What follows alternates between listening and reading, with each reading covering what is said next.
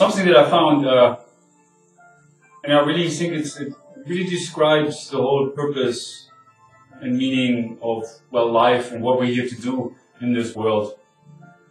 With the question about the meaning of life. And I think we all ask ourselves that at one point or another. Well, we get later on sidetracked in this world. We look for meaning, like we look for happiness, and we look for whatever it is we look for. But that's really it. Pablo Picasso said that, that the meaning of life is to find your gift, and the purpose of life is to give that away, give that gift away. Yeah, this is something that we never learn in school. We forget our purpose. Or we look for purpose in this world. And so, uh, well, I wanted to talk about that for a minute. The importance of that. Well, as a child, I didn't understand that. I, I rebelled against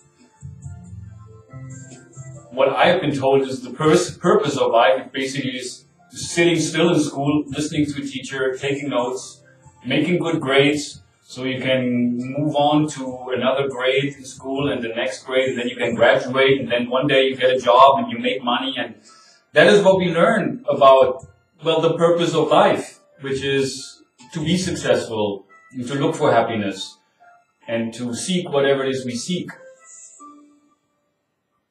But ultimately, that is really the key to find within ourselves what is my purpose, what is my gift, so I can give that gift away. And nobody really can tell you what that is for you, even though there are many times that is what's happening, where people are telling us you should be doing this, or you should be doing that, or you should be more that way. And so I also remember how I rebelled against that. When people told me that this is the way and this is how you need to be. And I also rebelled against that authority, which also was represented by my, my father, who was living his purpose. You know, he was a, an artist, he played piano, he conducted an orchestra, and was an extremely gifted man. But of course, like most all parents, want their children to fit the mold, to do what is expected of them so they will be successful in this world. But I never really understood that as a child. I always felt that there was something more, or rather, I felt that there was something missing, that there was something not right. To be forced into the mold to be like everybody else. And so I became this rebel who was really going against authority and to a point where nobody could tell me anything. Eventually, then later on in life, I've come to find that, well, you learn for yourself. I'm not really learning for my parents. I'm not learning for a teacher. I'm not learning for society in order to be successful and to get a job. Eventually, I've come to find that the learning, that real learning, is about understanding this, which is about my nature, understanding my nature, finding my talents, finding my, my purpose, which is about finding my gift, and to then give that away. And don't really think about what you get in return, just giving it for the sake of giving and not worrying about what I get in return.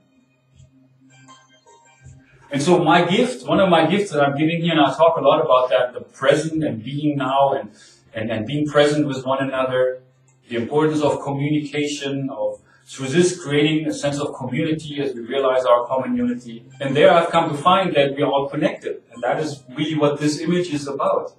That we all share that essence, that we all are one. Something else I've come to find for myself and that is a gift. Is the ability to see myself and others.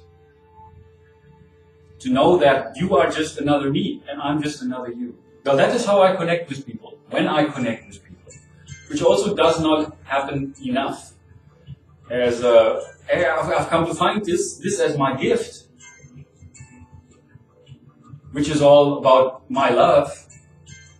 And when we all have that, that, that, that well, that one side that beautiful side, that creative side, which is, well, that's where we find our talent, and that's where our passion is and our creativity is.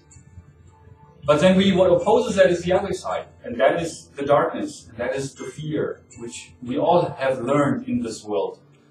And through our own experiences, to one degree or another, we've learned about fear.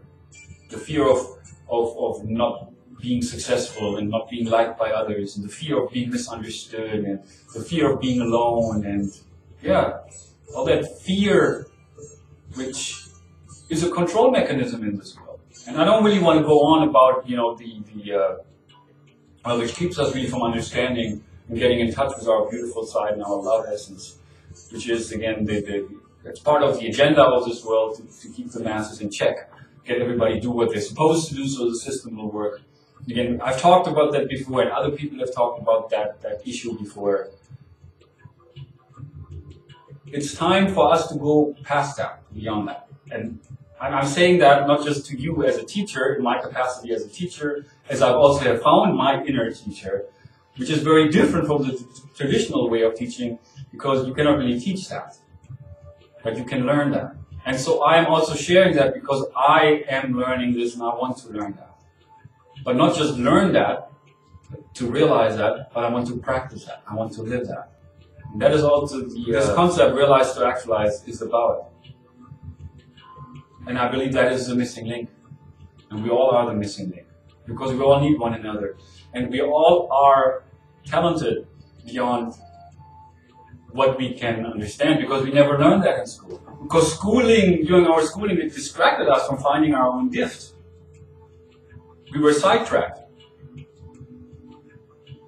But now that we are older and we can look at that, we can be aware of that, now that we are adults, we can begin on that journey to find our own gift.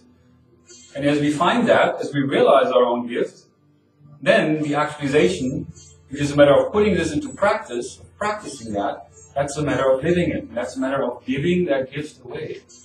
And so I, I hope in this video, well actually I wanted to make this video to uh, make a little bit of a, an effort in that direction. And not only share this awareness with you, but also remind myself of the importance of that. That the meaning of life is to find your gift, and the purpose is to give it away. Because in the giving, we contribute to making this world a better place. We become the change we want to see. And that is a matter of waking up and realizing I am free to give this gift away. And as we are then beginning on that journey to find that gift and give that away, we find this, our nature. And that we are all connected there. And we can go beyond all the struggles and all the suffering and all the fears. And that's where we change this world. That's where we help create, co-create a new world as we get in touch with that nature in order to give that gift of our own creativity, of our own love to one another. This is something we all can do. We need nothing for that. We don't need the approval of others for that. We don't need money for that. We don't need to have a certain lifestyle for that. We don't need anything for that.